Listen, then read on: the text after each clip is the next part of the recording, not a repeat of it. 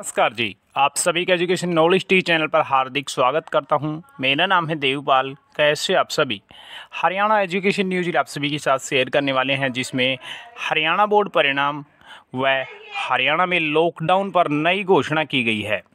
सुबह नौ बजे की बड़ी इन्फॉर्मेशन देखिएगा, वीडियो को लाइक और शेयर ज़रूर कीजिएगा। अगर आप चैनल पर नए हैं सब्सक्राइब कर लीजिएगा।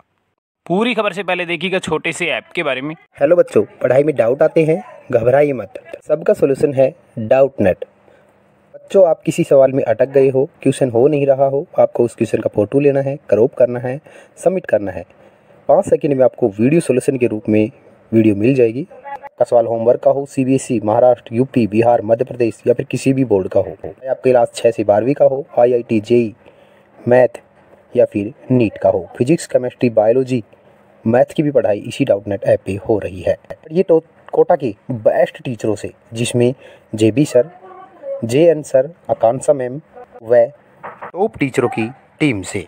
तीन करोड़ से ज़्यादा स्टूडेंट इसे पढ़ाई कर रहे हैं। डिस्क्रिप्शन में लिंक है डाउनलोड कीजिएगा।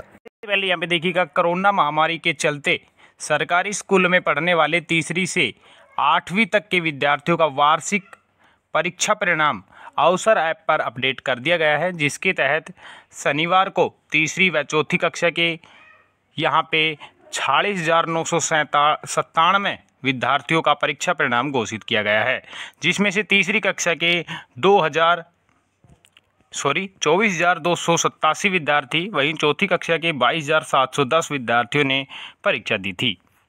और यहाँ पे आप देख भी सकते हैं, अवसर ऐप पर अपना परीक्षा परिणाम। उसके बाद यहाँ पे देखिएगा, हरियाणा सरकार ने शादी समारोह में अधिकतम संख्या 50 सीमित कर दी गई है। मुख्यमंत्री मनोहर लाल ने बैठक के बाद प्रेस कॉन्फ्रेंस की और धारा एक सौ चौवालीस लगाकर पाँच से ज़्यादा लोगों के एकत्रित होने पर भी रोक लगा दी है। उसके बाद यहाँ पे देखिएगा, हरियाणा में नहीं लगेगा लॉकडाउन पर छः जिलों में होगी और बढ़ेगी सख्तियाँ। यहाँ पे देखिएगा, गुरुग्राम फरीदाबाद, करनाल, सोनीपत, हिसार और पंचकुला में चार से अधिक लोग नहीं हो सकेंगे इकट्ठे। और प्रदेश सरकार ने कोरोना के बढ़ते मामलों के बावजूद गुरुग्राम और फतेहाबाद में लॉकडाउन नहीं लगाने का फैसला लिया है। संक्रमक